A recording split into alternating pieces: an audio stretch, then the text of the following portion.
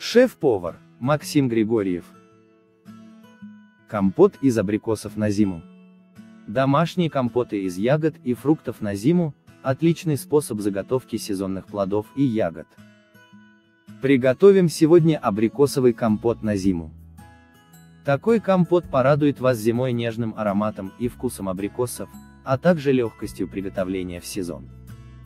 Ведь многие не готовят вкусных заготовок на зиму именно из-за того, что считают это сложным занятием. Время приготовления – 10 минут. Ингредиенты – абрикосы свежие 350 грамм. Вода 600 мл. Сахар 150 грамм.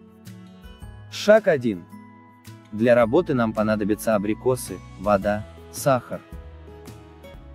Шаг 2. 350 грамм рамов абрикос вымыть, разрезать пополам, вынуть косточку.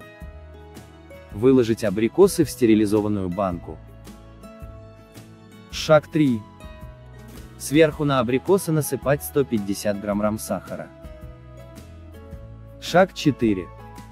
Воду, 600 мл, довести до кипения и залить в банку таким образом, чтобы вода перелилась через верх банки.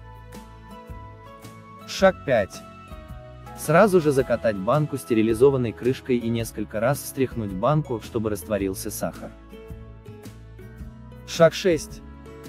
Перевернуть банку вниз крышкой. Шаг 7. Укутать банку толстым полотенцем.